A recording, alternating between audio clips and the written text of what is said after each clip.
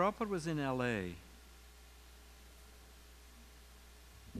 for about six months in 1970. And he was working on two books. He was working on the Krishna book and the um, Nectar of Devotion. And I had the great good fortune to be first coming as a guest, and then I moved into the Laguna Beach Temple, and we used to come up every. Prabhupada would speak Monday night, so we would come up Monday night. So these are just a couple events from that. At, when I was coming as a guest, and someone's going to have to remind me about the time, because I'm sure you will.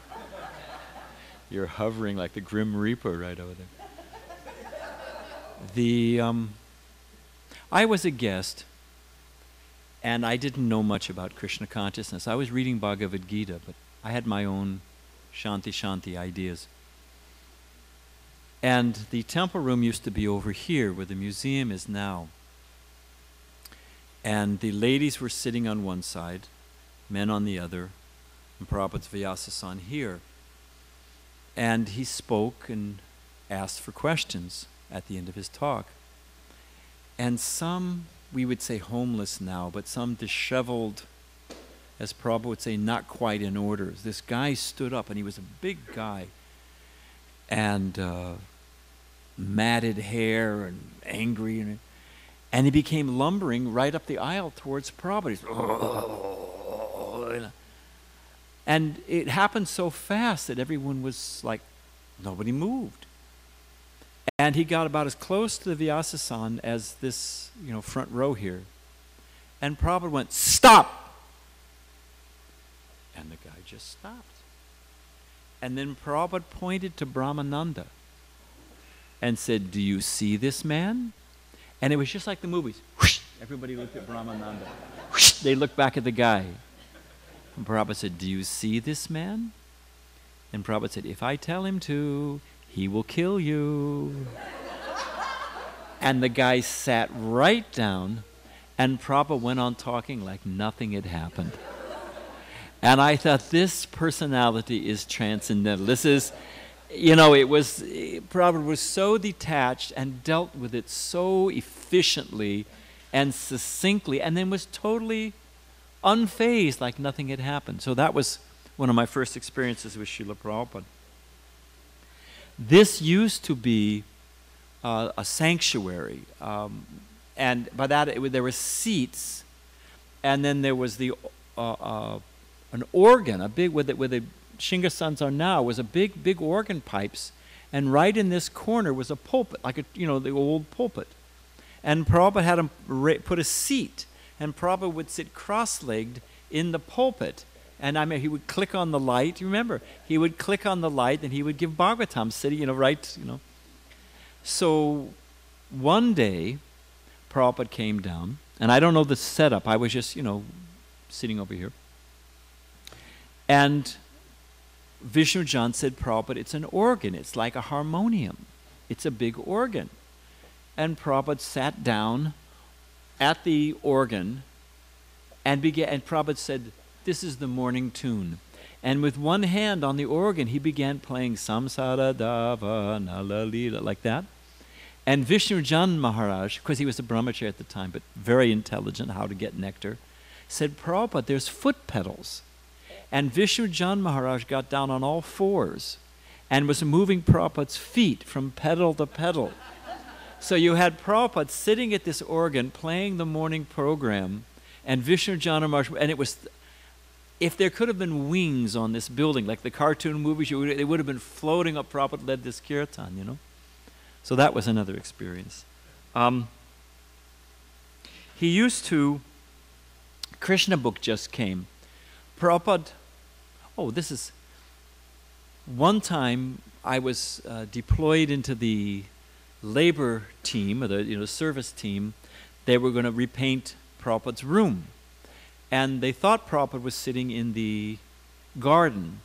So Karandar was in charge, and I was there with a couple other brahmacharis, and you know we all came in overalls with paint and stumbled into Prabhupada's room.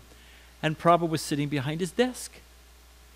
And everyone offered their obeisances. And Prabhupada had a gardenia garland wrapped around his head about five times. So after offering obeisances, Karandar asked Prabhupada, Why do you have the garland around your head? Prabhupada said, Very good for headaches. Prabhupada used to come and sit out in the garden out here. And where the gift shop is now used to be the Brahmacharya ashram. And you could lean out the windows and hear Prabhupada what he was talking to, you know, about. And Prabhupada was meeting with the, you know, the chairman of the, you know, the UCLA, you know, religions department or some local city councilman or big donor. I mean, Prabhupada was meeting, you know, materially Kali Yuga, so-called cultured, qualified people. And you had about 30 brahmacharis hanging out the windows. It looked like a barrel of monkeys. You know, we're all, you, maybe you remember, Shruti. You could lean out, and the other brahmachari would hold the back of your dhoti so you could lean out, and then we'd take turns. So you can imagine it was like a circus, right? And then Karan, not Karandar, uh, Keshava said to us, Keshava said, you know, it's embarrassing. Prabhupada's meeting these distinguished people, and we've got you guys hanging out there like a bunch of monkeys, you know, and you shouldn't do it anymore. And, you know, we were heartbroken because, you know, we were hearing Prabhupada speaking so profoundly and sweetly. and But we thought, he's right, you know. We just, you know, here's our spiritual master. He's doing important preaching, and we shouldn't be self-centered. So we, that day, we weren't there. Prabhupada came, sat down, bunch of scholars sitting in front of him.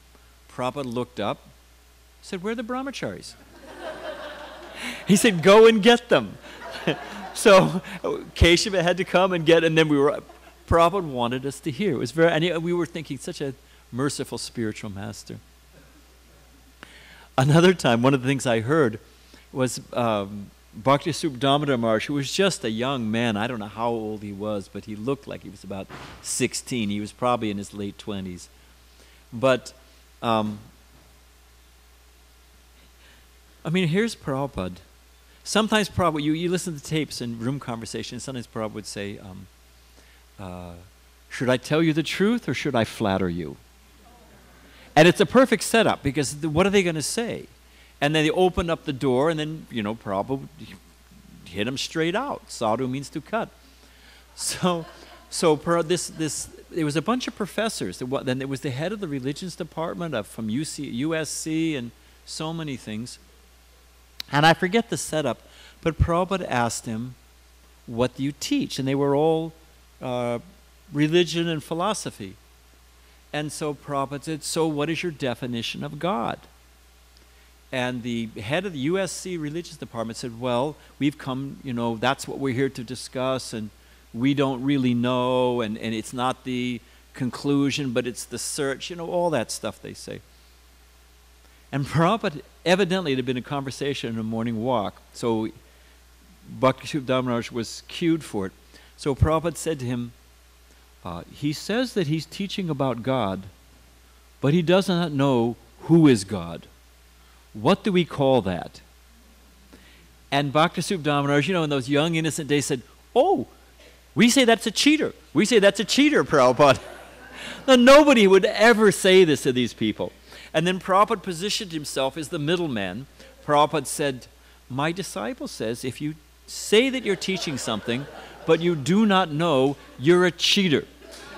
It was, and then Prabhupada took the conversation from there. It was so blissful. This is off the track, as I, I wanted to tell LA stories, but they've cut me down to 15 minutes. So I was in Detroit and uh, Devasadan Mandir, Prabhupada just moved in there. And just because it just came to my mind, and it's a sweet story. Um, this one Indian gentleman said, Oh, Swamiji, Swamiji, can you read my palm? And Prabhupada said, You know, we don't do that. You know, Yogakshemam vahamyaham, that we depend on Krishna. Uh, you know, Prabhupada explained, so Prabhupada said it kills the innocent, the childlike innocence of bhakti. You know, we, you know, we simply depend, like, the, you know, Prabhupada explained, the cowherd boys went in the mouth of Aghasura, they were completely surrendered. So Prabhupada explained to him what pure devotional service was, uh, like that. And when Prabhupada finished, the man said, Yes, yes, Swamiji, but can you read my palm? so Prabhupada said, Give me your hand. And, you know, expert theatrics. Like Prabhupada said, once he played Advaita uh, Chari in a play, and when the play ended, the audience was quiet. Prabhupada was wondering why aren't they applauding, but everyone was crying. It was so moving. Of course, it's a Bengali crowd, but it was so moving. You know, they were naturally emotional. So, in the same way, Prabhupada was expert at theatrics. Prabhupada said, Give me your hand. And then Prabhupada clicked on his desk lamp and he took the man's hand. You know how they do this. Hmm. And we were thinking, hey, Prabhupada's reading palms. I'm queuing up. You know, I'll be next, you know. So, hmm, hmm, hmm. And then Prabhupada went, all bad. Prabhupada said, birth, death, disease, and old age. And he was so heavy, I thought the man was going to have a heart attack. It was like, you know? And then the whole mood changed. Prabhupada smiled and Prabhupada said, But clap your hands at kirtan, all the lines go away. So pure bhakti, you know. The Prabhupada would, was staying upstairs, just like his rooms are there. And books would arrive, and usually it was Back to Godhead magazine. And usually they arrived just before breakfast prasadam. And you know, we were young men and young ladies, actually the men were doing it, um, we would unload the truck. And you know, we were super hungry. We would all line up, create a chain, and I think the book room was back here where the deity rooms are. So, Pujari stuff. So we would unload all these books. So a truck pulled up, sure enough, you know, uh, before breakfast or whatever. And we all queued up, and we were used to the usual, it was Back to Godhead magazine. And Karandar got on top of the truck, and he crowbarred open one of the cases moved away the straw and pulled out the Krishna book. Krishna book had just arrived. And Prabhupada, you know, the devotees all started to cheer. And Prabhupada, there was a little window here, and Prabhupada came to this, you know, if you go outside and look at the steps, above the steps, above the door, there's a window, used to be. And Prabhupada was there, and he was in his gamcha. And Prabhupada was so enlivened to see the devotees cheering in the receipt of the Krishna book, he began to play mridanga on his stomach because he was just in his gum, gumshoe, you know. It's very, I've never seen Prabhupada had that blissful little Brahman belly, so Prabhupada was chanting very nicely. And so instead of Gita class, Prabhupada had been giving a class in the evening. He started reading from Krishna book. And he would offer asides. He would add to the Krishna book. Like he was explaining when Narada Muni appears before Kamsa and explains, you know, okay, it's the eighth son, but you don't know which one is the eighth son. And Prabhupada said Narada Muni counted like this, you know, counting to eight. One, two, three, four, five, six, seven, eight. So this is the eighth son. But Prabhupada said this Vishnu is very, cheat, very tricky. What if you count one, two, three, four, five, six? Then the first becomes the eighth. What if you start in the middle? Prabhupada showed by counting any one of the sons could be the eighth son, depending on your count, because this Vishnu is very tricky. So he used to add details like that. He also added, Anyway, um, I'll cut some of that out. But after describing, all right, I'll say it. He, you know, there's that section when there's the rasa dance and Radharani's not given special attention. So she leaves the rasa dance, and then later on, Krishna goes to find her. And then the, in the Krishna book, the storyline kind of skips. All of a sudden, the gopis are there and they're with Radharani, they found her and they're consoling. Prabhupada put in that segment. Prabhupada said that Radharani, of course, is completely surrendered to Krishna. So as they were walking in the forest, she was feeling, of course, it's all Ras, it's all Leela and far beyond our pay grade and transcendental. So she was feeling a little proud, Radharani, that Krishna's you know, left me for all the other gopis. Knowing this, Krishna said, Why don't you ride on my shoulders?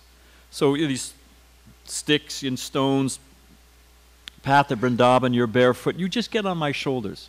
So Radharani got on Krishna's shoulders, and just she was thinking that, you know, Madan Mohan Mohini, that here's Madan Mohan, yet she's, he's completely controlled by me.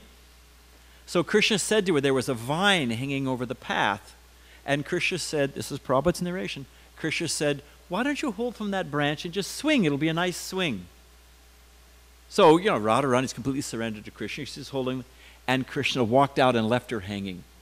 She was, and that's how the gopis found Srimati Radharani hanging like this. So Prabhupada would add these details. And one time when Prabhupada, because the temple room was over here, Prabhupada was leaving. Prabhupada got off the Vyasasana and he was walking out of his door. You know, the, there was a door here that went up to his room. And, you know, we were just like stunned. And Prabhupada stopped, looked at us, you know, at the devotees, and said, Yes, if I told you everything, you would faint. So, in that mood, Prabhupada used to come. It, it, it was some period there, I forget exactly when. Instead of Bhagavatam class in the morning, he started teaching us the verses from Sri Ishopanishad. Remember that? Om Purnamada, you know? So we were used to that. We would, Prabhupada would come, greet the deities, take Charnamrita. Then he would finish offering obeisance to the Jagannath. Maybe the Charnamrita was over, I forget. And he would come and sit down. When Prabhupada sat on the Vyasasana, we would all offer our obeisances. And we were used to, even before we'd finished offering our, you know, Prabhupada's pranam mantra, we would hear Prabhupada's voice, that oceanic voice of the ages, you know, would come roll, Om Pranam, Prabhupada would come rolling out. This particular day, we offered our obeisances. We were used to hearing that sound, no sound from Srila Prabhupada. And we looked up, and Prabhupada was sitting very, very straight. And tears were pouring down his cheek. I mean, his cheeks were wet from tears pouring, and he was stunned. And he was looking at the, we didn't have big Rukmini, we had uh, uh, the small Utsav small Rukmini Dwarkanath. And Prabhupada was looking at them with intense, you know, focus, like laser focus, and shedding tears. And then we saw Prabhupada. Everyone in the room saw it. He took a deep breath and he just suppressed it. He just pushed it down. And, you know, when Daruka is fanning Krishna, Krishna's servant, and he feels ecstasy and it gets he curses those symptoms of ecstasy because they get in the way of his service to his to Krishna. And in the same way, we could tell that this ecstasy, you know, people talk about, oh, you know, Radha and Krishna and, you know, Radha Kund and they're crying and this. Okay, fine, whatever. But Prabhupada was on that highest level of ecstasy, looking at the Radha Krishna deities, shedding tears of ecstasy. And to him, it was a disturbance. It was a side issue. He just pushed it aside because his duty was to train his disciples on behalf of his spiritual master how to spread Krishna consciousness. So it was profound to see that Prabhupada was on such a higher level than these, you know, chasing after Radha and Krishna in Vrindavan when Prabhupada showed up, he would come back from his morning walk, and he'd been traveling and then he came back. And I was one of the gardeners. I think maybe I, whatever, I was the gardener. And there used to be roses and grass out in front of here, although this is much nicer actually. And we had this hippie, nonviolent idea that you don't mow the lawn. That like when you, you know, you cut it, you know, and you just let it go with the flow or whatever, you know. So it was looking a little seedy out in front, but we thought, oh, it's you know organic or you know whatever. It's you know it's Krishna, you know whatever. And Prabhupada pulled up, got out of his car after coming from the airport, looked and said, "Why aren't you, you know, what is this? Why isn't the lawn being kept clean?" And Dayan, I think uh, Dayananda was the temple president. And he gave some explanation that well, the weather and this and it's hot and. You know, Prabhupada was, you know, transcendental Sherlock Holmes, didn't buy it at all. These used to all be private homes. He said, all their lawns are nice.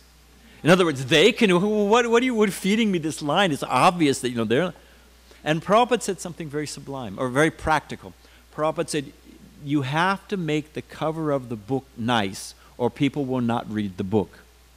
So we need to keep the temples nice. We should look nice. Otherwise, the, the Prabhupada said, in the age of Kali, people are superficial.